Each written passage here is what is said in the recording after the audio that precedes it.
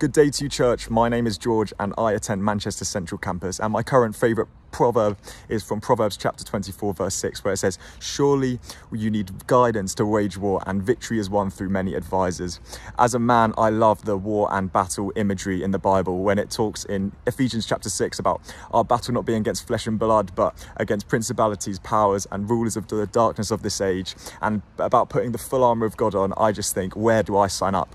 But this proverb is a reminder that the spiritual and natural battles that we face require help I don't know much about the British Army, but I'm pretty sure Winston Churchill did not just make up every decision on his own.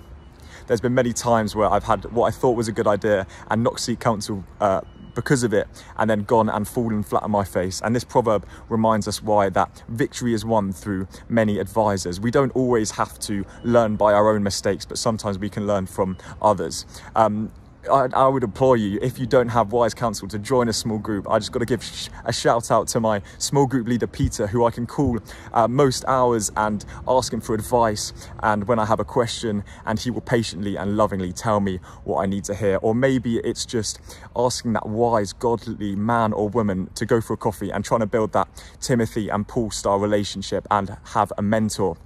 But whatever it is, remember that we should act as the body of Christ and not just simply a body part. So let's pray. Heavenly Father, Lord, I thank you for um, wise counsel, Lord. I thank you that your word says that victory is won through many advisors. Would you help us to um, seek advice in all circumstances, to gain guidance, to wage war um, naturally and spiritually, Lord?